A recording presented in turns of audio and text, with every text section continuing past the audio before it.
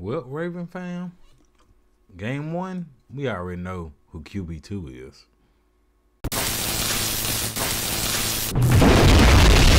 I'm putting hogs on the mob, planting purple seeds. Baltimore Ravens coat, purple trim, big body, old school for low. Purple rim, 7-7 cutty. All right, so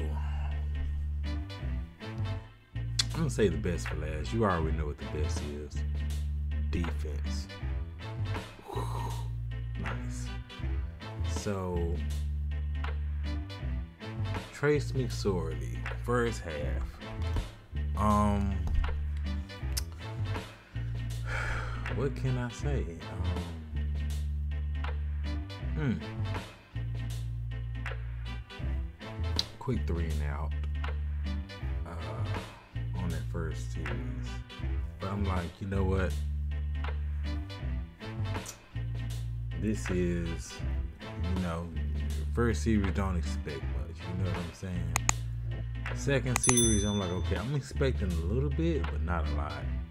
I'm like, you're battling for QB2. Okay, so, but they just kept blitzing blitzing. And it's like he, he really didn't have a lot of time because the offensive line was, that was like our second, third type strings offensive line. Now, Bozeman was out there for a little bit. He got nicked up a little bit and left. But I just think they just wanted him to get it just a little, just a little sweat. You know what I'm saying? Just to get that live game action. Um, but mm,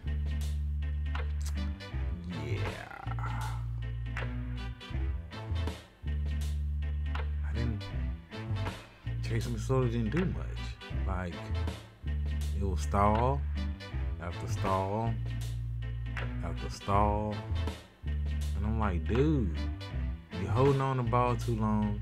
Then on some of the passes that you did make, a lot of them was to Dev, which is not bad, but I'm like, you gotta spread that ball around or they gonna start concentrating on that one person. And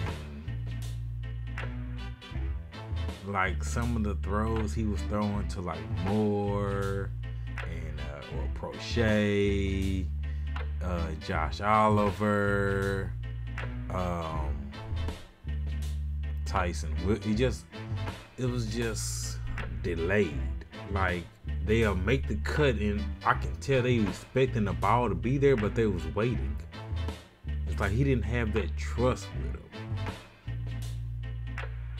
It's like, dude, you gotta these these routes they running and I'm talking about I'm gonna talk about one where I did not like later, and that was when Tyler Huntley, Hunt, Huntley was out there. But the routes they was running, it was just like slants, kind of like a out routes, things such as that, and they had to wait on the ball. I'm like, those would get intercepted because you're not trusting them. I remember one play, I believe it was to uh, it was to Moore he went up and went out and they showed the replay. He was already there. He was just like waiting for the ball. I'm waiting here. And then the corner by the time the ball got there the cornerback caught up with him. He couldn't do no YAC yardage. And i'm like dude these are timed routes you're doing. What's the problem you didn't miss practice like lamar you didn't miss 10 days like Lamar did. So what is the problem? And the Saints seen that he could not handle in the offensive line, could not handle the blitz because he was not getting the ball out fast enough to make him regret that blitz. So they kept getting them and getting them. Then Greg Roman was like, okay, let's go with no huddle. They want to blitz. Let's tire him out. Then with the no huddle, he actually started getting the ball out a lot faster. Then he started moving it up and down the field.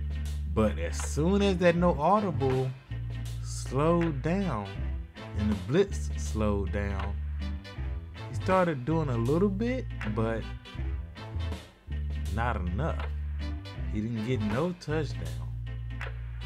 And I'm like, dude, and the, what the defense was doing for him, the Ravens defense, like what, three, four turnovers in the first half? And I'm like, dude, they're balling out. And you're not putting any points on the board. Tucker hit that that that one good one, and I was like, okay, okay. Then I, I called my super uh, uh, fifth round pick because somebody's gonna might trade for him, and we might get a fifth round pick for him. But he went out there and he was like showcasing. Hey, I, I'm a good kicker. I'm available. Just give up a fifth rounder, maybe a fourth. You never know. Teams might be desperate. Well, hey, Washington. I just read a report about Washington's kicker. Just saying. But I'm like, what's going on, McSorley?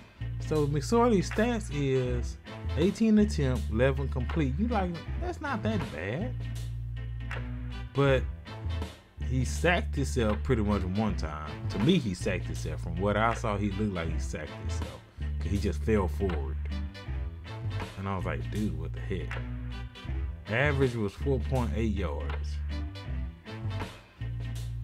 Then he he tried to run, and I was like, that's that's not your specialty. But um, four carries, 25 yards. Now four carries, 25 yards. You're like, that's not that bad. But his one of his longest runs was 22 yards. So you take away that 22 yard run, he literally had three carries for one yard. What? Like, if you see them blitzing, you try to get out that pocket real quick. Make something happen. So he had got the Ravens a total of nine points in the first half. Zero in the first quarter. But nine points in the first half. All what the defense did. Then second half starts, and I'm like, okay, Huntley, time to do your thing. Huntley came out there. They try to blitz him. He got out the pocket. In my in my opinion, he's a lot faster than McSorley. So he made him regret it. He ran. Like, hey, y'all want to blitz me? Okay, I'm just gonna run it. You ain't giving me time to look up and down the field. I'm just gonna run it. I'm gonna make you regret it. Then when he did throw, he did a little, you know, Roman. He do his little, his little screen passes and all of that. Did that. He was gelling. Ball was moving pretty good, and then he got a little bit cocky, I would say. But he was killing them with his little runs here and there, keeping the drive going. But then he fumbled. Everybody seen, they put the camera right when he fumbled, he, he got lit. that man got lit. But right when that happened and he fumbled, they automatically had that camera on hard. And hard was like, you come here. And I'm like, oh, if you wasn't the quarterback, that's doghouse right there, man. Everybody knows that. Everybody knows Harb's doghouse. He came back. Harb, Harb said something quick to him. It wasn't long. It was quick. He came back. He, he drove down the field. This ain't no. He got the only touchdown that the Ravens received in that game. And got a two point conversion with, I believe it was Williams going up the middle.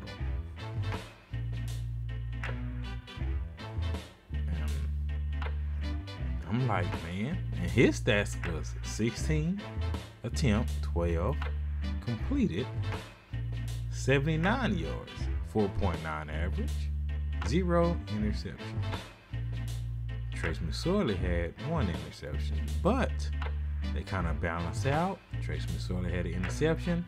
Huntley had a fumble. So those turnovers, they balanced out with each other. But the QB rating, that was the gap. Huntley won at 85. Trace McSorley, 49. Not good. Not good. And on seven carries with 43 yards. I told you the TD, 6.1 yards average rushing for Huntley. So you can see the, the difference. And I feel he kind of spreaded the ball a little bit, even though if you know the Ravens preseason, don't expect don't expect a lot to see a lot of the playbook. They do not show the playbook whatsoever in preseason. Now, when we play the Las Vegas Raiders, I'm expecting to see some creativity from Greg Roman. But the best for last before I end this thing. The defense. Man, that defense. Geno, two interceptions. PQ had got a tackle for loss on one play. Then the play right after, he's like, okay, I'll give me a sack. And, and Taysom Hill ran, pretty much ran straight to him. Uh, you and the New Orleans fans, yeah, mm, don't know if y'all seen my reaction video, but y'all gonna have you a top 10, top 5 pick. You might want to start looking at them quarterbacks in college right now. Cause y'all gonna need it. Now, uh, I believe it's uh, what was it, uh, Winston? Winston should be y'all starter. Okay, he, he to me he played a lot better than Taysom Hill, but that's just my opinion. The defense for the Ravens, Geno Stone, man, that dude balled out, and I believe he was injured last year. I do not. I think he was on IR last year, if I remember correctly.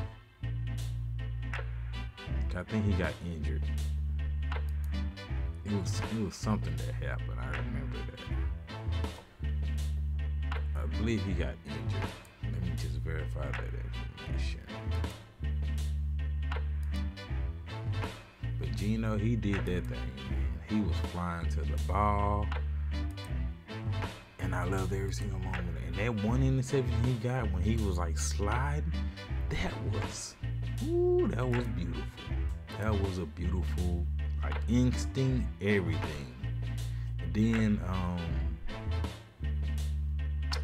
oh wait, oh wait, he was doing a lot of bull rush. I did not like that, but he was getting close to the quarterback He was getting close to the quarterback.